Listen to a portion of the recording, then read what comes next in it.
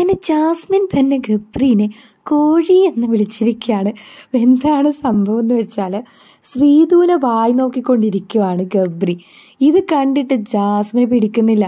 Jasmine പറയാണ് കോഴി എന്ന് വിളിച്ചിട്ട് ഗബ്രീനോട് കോഴിക്കൂട് ഇതിന്റെ ഏത് ഭാഗത്താ പണിത് വെച്ചേക്കുന്നതൊക്കെ സ്വയം നിയന്ത്രിച്ചുകൊണ്ട് നമ്മുടെ ജാസ്മിൻ തന്നെ പറയാണ് ശ്രീതു ഇതിലൊന്നും വീഴത്തില്ല അല്ലേ? എന്ന് പറഞ്ഞിട്ട് ഇങ്ങനെ കളിക്കുകയാണ്. കാരണം ആൾക്ക് ഇത് ഇഷ്ടപ്പെടില്ലല്ലോ.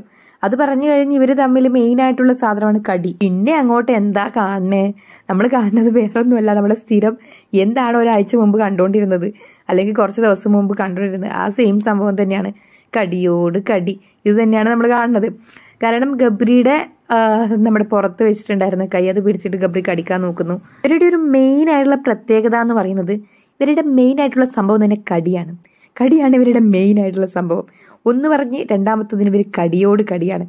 എന്താ പൊന്നോ നമ്മൾ ഏത് ഫ്രണ്ട്ഷിപ്പിലാണ് ഇങ്ങനെ കണ്ടിട്ടുള്ളത്? എന്തായാലും ഒരു വെറൈറ്റി ഫ്രണ്ട്ഷിപ്പ് ആയിപ്പോ അല്ലേ? വെറൈറ്റി ഫ്രണ്ട്ഷിപ്പ് എന്ന് പറയുന്നില്ല പ്രണയമൊന്നും പറയുന്നില്ല. അതിന്റെ നടുക്കുള്ളൊരു സംഭവമാണ്. പക്ഷെ കടി മെയിനായിട്ട് എല്ലാ ദിവസവും ഓരോരോ കടി നിർബന്ധമാണ്. വല്ലാത്ത ഒരു തരം ഒരു തരം ഒരു ബന്ധം. അതവിടെ നിൽക്കട്ടെ നമുക്ക് കാര്യത്തിലേക്ക് കടക്കാം. ശ്രീതുവായിട്ടുള്ള കാര്യമാണ് നമ്മൾ പറഞ്ഞു വരുന്നത്. അതായത് ഗബ്രി കഴിഞ്ഞ പ്രാവശ്യം ക്യാപ്റ്റൻസി ടാസ്കിലേക്ക് ആരെയൊക്കെ ആയിരുന്നു നോമിനേറ്റ് ചെയ്തത്? വേറെ ആരെയല്ല രണ്ട് പേരുടെ പേരാണ് പറഞ്ഞത്. ഒന്ന് നിർബന്ധമായിട്ടും പറയുന്ന ഒരു പേര് തന്നെയാണ്. അതായത് അവരെന്തായാലും പറയുന്ന പേര് ജാസ്മിൻ ആണ് രണ്ടാമത്തെ പേര് ശ്രീതു ആയിരുന്നു. അതായത് ശ്രീതുവിനെയും ജാസ്മിനെയായിരുന്നു ക്യാപ്റ്റൻസിയിലേക്ക് പറഞ്ഞിരുന്നത്.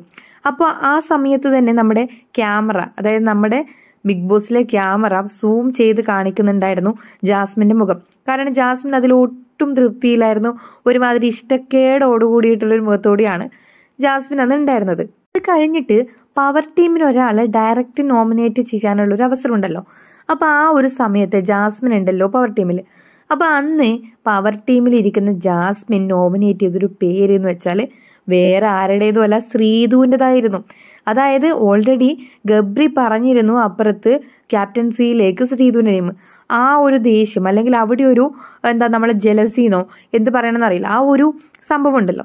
അവിടെ അത് പ്രവർത്തിച്ചിട്ടുണ്ട്. നല്ല രീതിയിൽ ജാസ്മിന് ശ്രീധുവിനോടൊരു ഇഷ്ടക്കുറവ് വന്നിട്ടുണ്ട്. അപ്പോൾ ആ അതിന്റെ പേരിലാണ് എന്ത് ചെയ്തത്?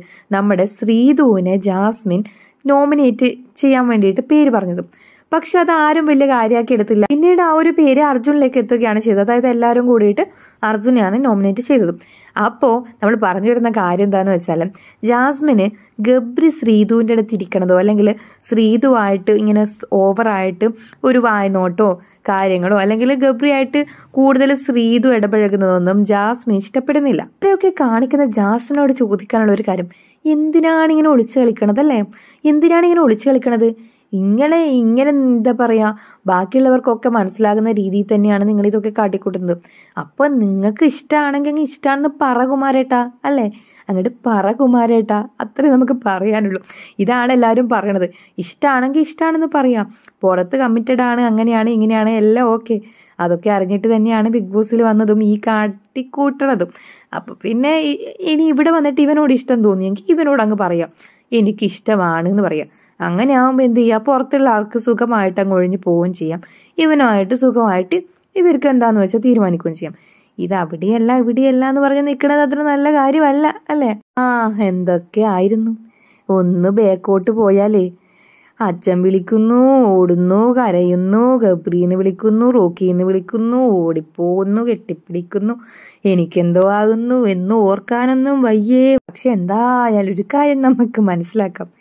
ഉപ്പ വിളിച്ചാലും ശരി ഉമ്മ വിളിച്ചാലും ശരി ആര് പറഞ്ഞാലും ശരി ശങ്കരൻ തെങ്ങുമ്മ തന്നെ. ഇതേ നമുക്ക് കാണുന്ന പ്രേക്ഷകർക്ക് പറയാനുള്ളൂ. ഇനിയെങ്കിലും ഒന്ന് നന്നായിക്കൂടെ എന്ന് പറഞ്ഞ പ്രേക്ഷകർ കുറച്ച് പേരെങ്കിലും ഒന്ന് സപ്പോർട്ട് ചെയ്തിരുന്നു കാരണം ആ ഇനിയെങ്കിലും നന്നാകുന്നെങ്കിൽ ഓക്കെ ആയിട്ട് വരട്ടെ എന്നൊക്കെ. ഇപ്പൊ വീണ്ടും ദാ കിടക്ക ഇങ്ങോട്ടാണാവോ ഈ പോക്ക്? എന്തായാലും നമുക്ക് കണ്ടറിയാം ഇത് എവിടം വരെ പോകുമെന്നും എവിടെ ചെന്ന് നിൽക്കുമെന്നും ഇനി ഗെയിം മാറ്റി ഇവർ തമ്മിൽ തിരിയോന്നോ എല്ലാം നമുക്ക് കണ്ടറിയാം. എന്തായാലും ശ്രീധുവിന്റെ കാര്യം ഇങ്ങനെയാണ്. അപ്പോൾ പുതിയ ലൈവ് അപ്ഡേറ്റ്സും കാര്യങ്ങളായിട്ട് നമുക്ക് അടുത്ത വീഡിയോയിൽ കാണാം. അതുവരെ നമ്മുടെ ചാനൽ ആദ്യമായിട്ട് കാണുന്നവരാണെങ്കിൽ സബ്സ്ക്രൈബ് ചെയ്യാൻ മറക്കണ്ട. അതുപോലെ തന്നെ നിങ്ങളുടെ അഭിപ്രായങ്ങൾ കമന്റായി രേഖപ്പെടുത്താനും ഷെയർ ചെയ്യാനും ഒന്നും മറക്കണ്ട.